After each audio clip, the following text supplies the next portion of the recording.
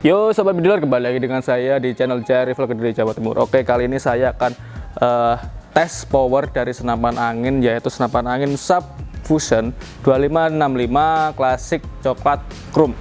Oke uh, saya di sini akan menggunakan uh, botol kaleng uh, botol kaleng kemudian dari jarak kurang lebih 15 meter ya sahabat builder dan kali ini saya akan menggunakan mimis dari Super Doom dengan kaliber 4,5 mm oke langsung saja kita tes powernya dan check it out. Nah jadi uh, ini ya sahabat builder untuk senapan anginnya. Uh, senapan angin ini memiliki laras dengan panjang sekitar 65 cm dan memiliki uh, OD tabung yaitu 25 uh, mm. Oke, uh, mari kita uh, pompa sebanyak tujuh kali yaitu pompa minimal untuk senapan uklik.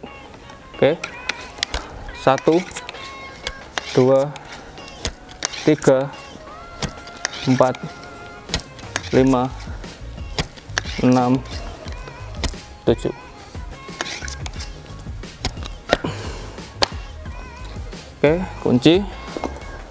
Nah ini dia minusnya dari Super Doom dengan kaliber 4,5 mm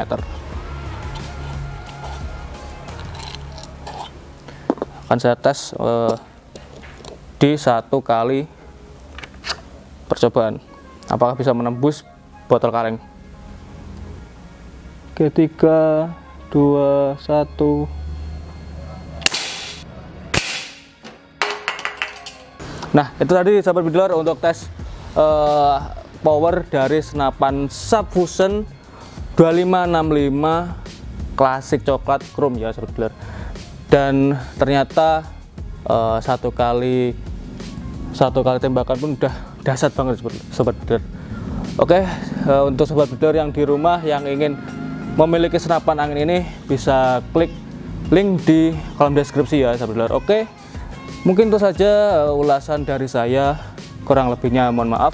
Jangan jangan lupa untuk klik like, comment, share, and subscribe channel Jaya Air Rifle Kediri. Oke, mungkin cukup sekian dari saya. Terima kasih dan salam bediler.